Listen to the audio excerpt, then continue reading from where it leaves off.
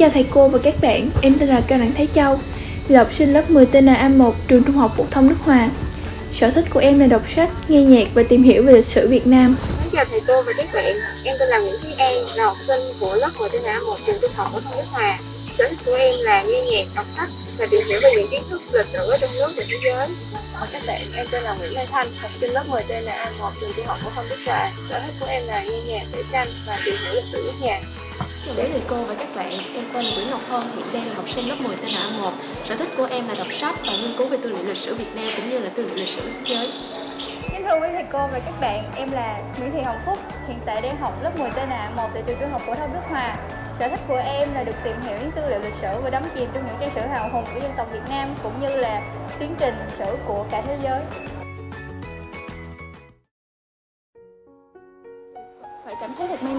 Là được sinh ra và lớn lên trong thời bình. Ngày ngày được sống trong bình yên và đủ đầy. Nhưng để có được ngày hôm nay thì ông cha ta trước kia đã phải hy sinh biết bao nhiêu thứ, kể cả máu xương và kể cả mạng sống. Vì vậy khi đến với cuộc thi giới thiệu sách, à, chúng em sẽ được giới thiệu cuốn sách Đại thắng mùa xuân năm 1975 và những thay đổi diệu kỳ của đất nước. Đó là mùa xuân hào hùng của cả một quốc gia để ta hiểu thêm về lịch sử dân tộc và ngày càng biết ơn, kính trọng những trái tim yêu thương nồng nàn đã từng ngã xuống vì độc lập tự dân cho thế hệ tương lai. Thắng lợi cuộc kháng chiến chống Mỹ cứu nước là một trong những chiến công vĩ đại của dân tộc Việt Nam trong thế kỷ 20, là một thiên anh hùng ca của chiến tranh của nhân dân trong thời đại Hồ Chí Minh. À, năm tháng trôi qua, ngày càng làm nổi bật tầm vóc lịch sử về dưới thời đại của sự kiện kỷ niệm 40 năm của kháng chiến chống Mỹ cứu nước, à, toàn thắng và kỷ niệm những ngày lễ trọng đại của đất nước trong năm 2015. Nhà xuất bản Thông tấn biên soạn và ấn hành cuốn sách Đại thắng mùa xuân năm 1975 và những đổi thay kỳ diệu của đất nước ờ, nhằm ghi lại những dấu mốc lịch sử vẻ vang của dân tộc trong sự nghiệp dựng nước và giữ nước. Cuốn là nơi tập hợp ba chiến dịch hào hùng như ba đôi ký thép lịch sử đang hoài niệm dựng nên một Việt Nam ngày xưa cũ.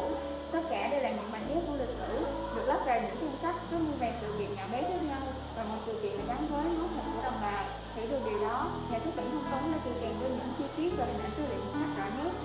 từ đó xây dựng những trang ký ức đậm chất hiện thực và đều xác đáng. Đó chính là những chân lý mực đen nét cũ của lịch sử và nhà xuất bản thông tấn đã tái hiện những cách hoàn chỉnh nhất về tổng thể xuyên suốt một chặng đường dài. Cuốn sách như một hiện vật được khai thác hết những kẹp lịch sử trong mình và mang ra ánh sáng tất cả về quá trình diễn biến của cuộc tổng tiến công và nổi dậy mùa xuân năm 1975 từ giai đoạn chuẩn bị, phản công đến lúc hoàn toàn được thắng lợi sau đó tiến tới người Việt được nước đổi mới, xây dựng đất nước ngày càng tươi đẹp và phát triển và các tác hiện lịch sử sinh động qua những hình ảnh tư liệu rõ nét sách đã tạo ra một chiếc khóa đáng kể trong cách tiếp cận và biên soạn lịch sử khác hẳn với lối chiến sử truyền thống của các sử gia trong chiến như một cuốn sử yếu cái phần đã khá quét ngắn gọn nhưng tương đối đầy đủ về toàn bộ lịch sử Việt Nam từ giai đoạn chiến tranh chiến dịch Tây Nguyên đến cuộc cách mạng giải phóng hóa Đà Nẵng và cuối cùng là sự kiện giải phóng Sài Gòn thành Âm Liệt. Sách được chia làm hai phần, phần một cuộc tổng tiến công và đại diện miền xuân năm 1975 và phần 2 xây dựng lại đất nước đàn hàng không to đẹp hơn. Ở phần thứ nhất của sách, bạn đọc dễ dàng bị thu hút bởi cái cuộc tiến quân của quân giải phóng ở ba chiến dịch. Chiến dịch giải phóng Tây Nguyên mở đầu ở Buôn Ma Thuột, chiến dịch giải phóng Huế, Đà Nẵng và kết thúc với chiến dịch Hồ Chí Minh thắng lợi trọn vẹn. Từng nét chữ, từng hình ảnh ở cuốn sách ở phần này chủ yếu tập trung thể hiện quá trình mà đảng ta lãnh đạo nhân dân đứng dậy đấu tranh giành độc lập, triển khai chiến lược, thực hiện mục tiêu kháng chiến, huy động sức mạnh toàn dân để đi đến thắng lợi hoàn toàn. Không chỉ thế, nó còn đem đến cho độc giả cái nhìn khái quát qua những lời nhận định từ những nhân chứng có thật và đến từ nhiều phía. Qua đó càng làm nổi bật ý nghĩa lịch sử và những kinh nghiệm của ông cha ta ngày xưa và cho đến tận nay nó vẫn được xem là kho báu đầy giá trị trong cuộc bảo vệ và xây dựng đất nước. Về phía Mỹ, nó như là một lời hướng nhận cho sự thất bại nặng nề của cuộc chiến tranh phi nghĩa, cho tội ác thiệt hại to lớn của cuộc chiến tranh có thể mang lại. Còn đối với những quốc gia khác, đại thắng mùa xuân năm 1975 tại Việt Nam đã cổ vũ mạnh mẽ tất cả những dân tộc và nhân dân bị áp bức trên thế giới có thể kiên cường đứng dậy đấu tranh giành lại độc lập tự do. Đến những sự kiện sâu của cuốn sách, ta thấy những bức tranh lại mang màu sắc tươi sáng hơn, sinh động hơn chứ không chỉ còn là hai màu trắng đen đơn điệu. Đây cũng như một bước ngoặt thay đổi tương lai, khi đất nước đang bước đến một con đường khác tươi sáng hơn, phát triển hơn trước đây. Khi quan sát hình ảnh trong sách, ta dễ dàng thấy được sự đổi mới về từ mọi mặt từ kinh tế, chính trị đến dịch vụ tiêu dùng của đất nước ta qua từng giai đoạn.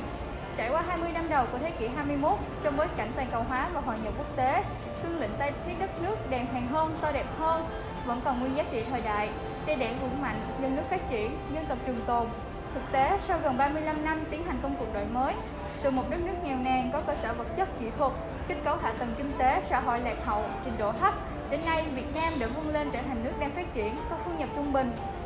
văn hóa, xã hội tiếp tục phát triển, đời sống vật chất và tinh thần của nhân dân được cải thiện, công tác xây dựng đảng và hệ thống chính trị có những bước đột phá, khối đại đoàn kết dân tộc không ngừng được củng cố, chính trị xã hội ổn định, quốc phòng, an ninh, độc lập chủ quyền được giữ vững. Vị thế và uy tín của đất nước ngày càng được nâng cao trên trường quốc tế. Đến nay, Việt Nam đã trở thành một quốc gia có quy mô dân số hơn 100 triệu người, với mức thu nhập bình quân 2.800 đô. Trên đầu người đã tham gia hầu hết các tổ chức quốc tế, trở thành một thành viên tích cực, có trách nhiệm trong các hoạt động của cộng đồng quốc tế. Với những thành tựu to lớn đã đạt được, chúng ta có cơ sở để khẳng định rằng đất nước ta chưa bao giờ có được cơ đồ, tiềm lực, vị thế và uy tín như ngày nay. Tuy đất nước vẫn còn nhiều hạn chế và bất cập, song căm màu sáng đó đã đóng vai trò chủ đạo. Tâm nguyện của Chủ tịch Hồ Chí Minh xây dựng lại đất nước ta đàng hoàng hơn, ta đẹp hơn, cũng đang từng bước trở thành hiện thực. Chiến thắng mùa xuân năm 1975 và những thay đổi kỳ diệu của đất nước đã nêu lên những quan điểm mới, có tính nguyên tắc, chỉ đạo làm phong phú thêm kho tàng tư tưởng lý luận của đảng, khái quát và coi lịch sử là một nguồn tư liệu vô giá, là động lực góp phần tích cực vào cuộc đấu tranh giải phóng dân tộc. Chỉ có hiểu biết về lịch sử và chỉ có thông qua những kiến thức về lịch sử mới hiểu biết được về nguồn gốc và cổ tích của ngôi ngôi Việt Nam. Nó mang một mùi gió mới, một mùi hương nồng nàn của các bụi, mùi máu tanh nồng nàn mà an liệt của chiến trường ngày xưa. Cuốn sách không chỉ đơn thuần là những tái hiện lịch sử mà còn ẩn chứa những bài học kinh nghiệm, những đoạn kết huy hoàng, những tình hình ảnh không thể nào quên của chiến tranh khốc liệt và những cảm xúc, những cung bậc, những niềm tin về tương lai mới và một thế hệ mới tốt đẹp hơn, phát triển hơn. Sau khi đọc xong cuốn sách này, thứ còn động lại trong trái tim của chúng em chính là tinh thần trách nhiệm về chứng kiến những cảnh tàn khốc của chiến tranh và biết được công lao của ông cha ta ngày dựng lên thế hệ ngày hôm nay chúng ta trọn vẹn. Thế nên bản thân chúng em mới phải phấn đấu nhiều hơn nữa, không chỉ dừng lại ở việc học tập mà còn việc đề cao ý thức, nâng cao cảnh giác, kiên quyết đập tay những âm mưu chống phá của thế lực thù địch, bảo vệ đảng, bảo vệ đất nước, bảo vệ dân tộc, phòng chống các tệ nạn xã hội, giữ gìn an ninh trật tự an toàn giao thông và an ninh xã hội để quốc gia ngày càng phát triển theo chiều hướng tích cực đi lên.